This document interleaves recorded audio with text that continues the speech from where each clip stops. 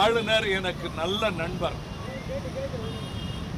அவர் மத்திய அமைச்சராக உள்துறையில் மா ராஜாங்க அமைச்சராக இருந்தபோது மிக நெருக்கமாக பழகியவர்.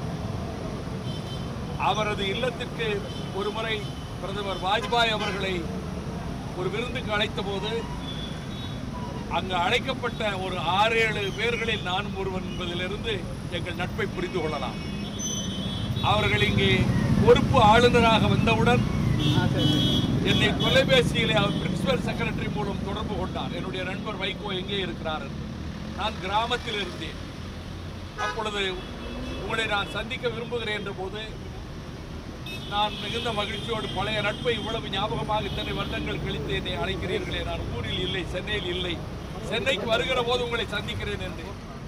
கடந்த பத்து பன்னெண்டு நாட்களாக நான் சென்னையில் இல்லை. இன்று காலையில் தான் வந்தேன்.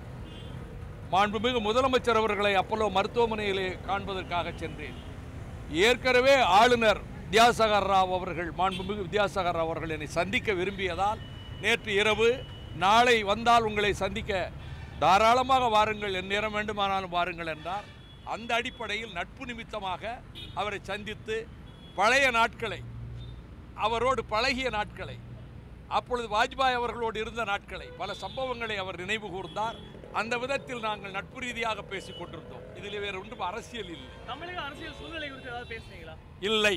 சார் தமிழகத்துல ஒரு பரபரப்பான அரசியல் சூழ்நிலை நிலவரம் இல்லை. இந்த சந்திப்பு வெறும் நட்பு ரீதியான சந்திப்புன்றது. நட்பு ரீதியான சந்திப்பு தான். சரி தமிழக அரசியல்வாதியாக இருப்பதால் அரசியலை நீங்கள் நினைக்கிறீர்கள். நான் அதற்கு மேல் எதுவும் சொல்ல முடியாது. நான் நான் நட்பு ரீதியாக மரியாதை நிமித்தம் நீண்ட நேரம் ஒரு நாற்பது நிமிடம் பேசிக் கொண்டிருந்தேன். அது வேறு எதுவும் நான் சொல்ல விரும்பவில்லை. வந்து- நிலைமையில வந்து ஒரு துணை முதலமைச்சரையோ பொறுப்பு முதலமைச்சரையோ அவன் நியமிக்க வேண்டிய அவசியம் அவசியம் கிடையாது.